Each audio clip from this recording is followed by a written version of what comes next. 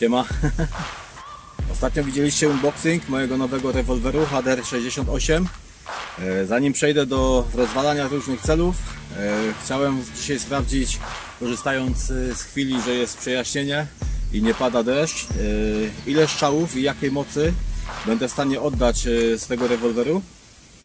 Użyję kulek gumowych. Waga ich jest 3,76. Są to kulki gumowe, pud- pudrowane, tak żeby miały lepszy poślizg. Do pomiaru użyję chronometru X-Radar. Yy, okazało się, że jest on ok. W ostatnim odcinku troszeczkę nie, nie, nie wierzyłem w te wyniki, jakie on pokazał. Nie wierzę w te wyniki, które teraz yy, widzieliście, bo były dość solidne. Ale tak jak obiecałem, y, próbowałem znaleźć odpowiednie miejsce, żeby go przyłożyć i się okazuje, że najlepsze miejsce jest tutaj na samym końcu, gdzie jest kawałek y, gładkiej obudowy. Wyniki z tego chronometru są ok. Y, Jeżeli jest przyłożony tutaj na wylocie lufy właśnie do tego gładkiego miejsca obudowy. Porównałem też te wyniki z chronometrem RH2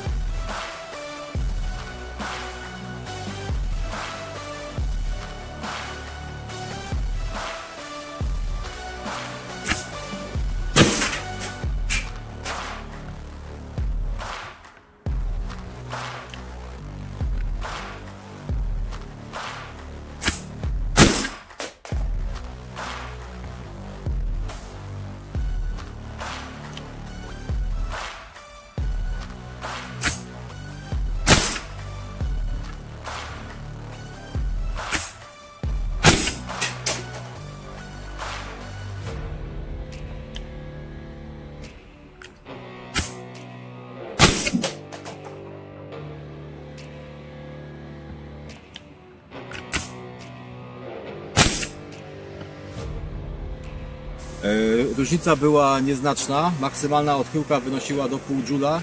Średnia pokazała tam na 20 strzałów 0,37. Także ta różnica jest niewielka. Może to się brać z tego, że tym chronometrem by- mierzę prędkość e, kulek na wylocie lufy, a chronometr RH2 mierzy z odległości około 80 cm. Test przeprowadzę używając tylko jednej ampułki CO2.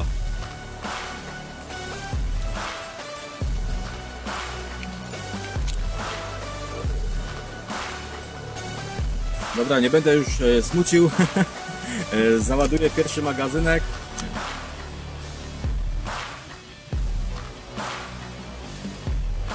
Pierwszy magazynek gotowy do działania. Dobra, ja jestem gotowy, możemy zaczynać.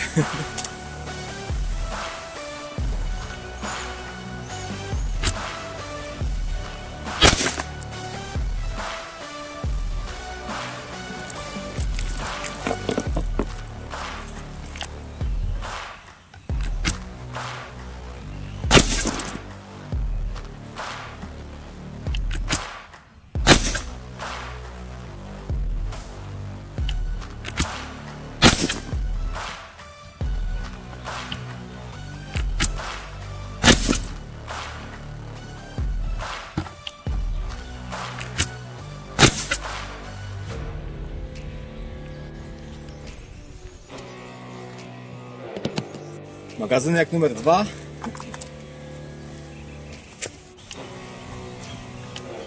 Sorry, jeden szał był pusty, bo ciągle mylę go z ADR 50.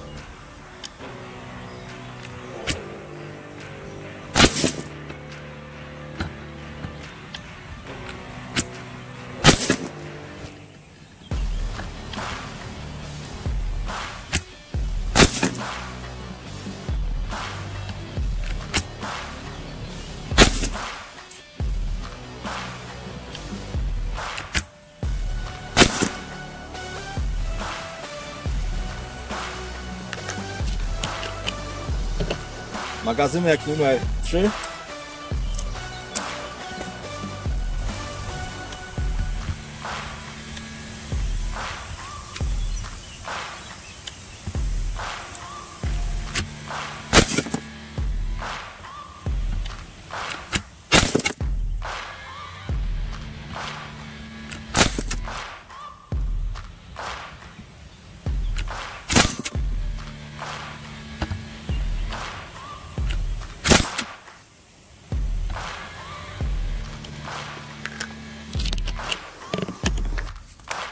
Czwarty magazynek.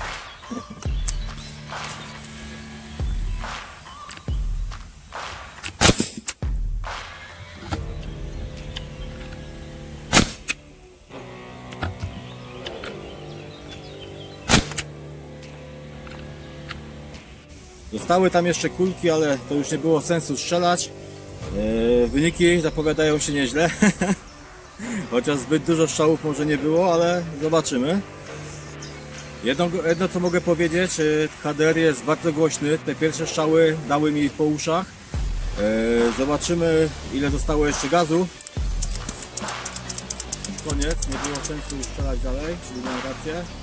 Jeszcze. Totalnie koniec, czyli gaz wykorzystujemy praktycznie do samego końca, chociaż te ostatnie strzały to szkoda kulek na nie. Zobaczę jeszcze jak wyglądają kulki. Nie powinno im się tam nic złego stać, ale warto sprawdzić. nic się nie stało.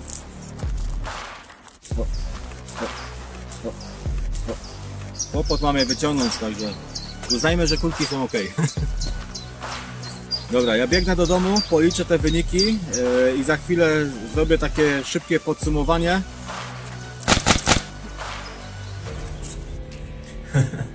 Te wyniki, które widzieliście, są to najlepsze wyniki, jakie osiągnąłem na HDR 68. Pierwszy strzał wyniósł gdzieś tam około 26 Joule, co jest całkiem fajnym wynikiem. Oceniając wyniki, można zauważyć, że zawsze najmocniejszy jest strzał numer 1.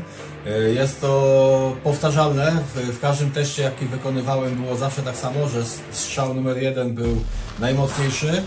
Inaczej to wyglądało w HDR 50, gdzie tutaj często najmocniejszym strzałem jest strzał numer 2 lub 3, najczęściej numer 2. Kolejną rzeczą, jaką można zauważyć, jest to to, że HDR 68 utrzymuje trend spadkowy, to znaczy, że każda kolejna wystrzelona kulka uzyskuje mniejszą prędkość. To również jest inaczej delikatnie niż w HDR 50. Tutaj mocniejsze strzały są przeplatane ze strzałami słabszymi.